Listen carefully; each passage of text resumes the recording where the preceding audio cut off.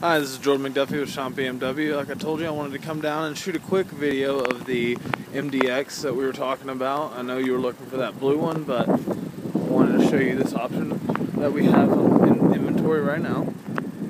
Just give you a quick little walk around. As you can see, it is in pretty clean condition. It does have the automatic uh, lift gate in the back.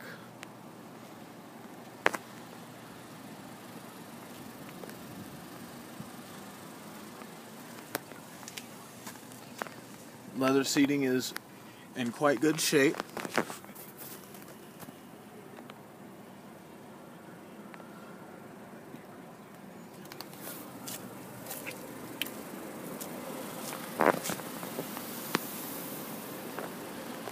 If you have any other questions on it, or if you'd like me to look around and keep my eyes peeled for some things, please let me know. I'm always happy to help.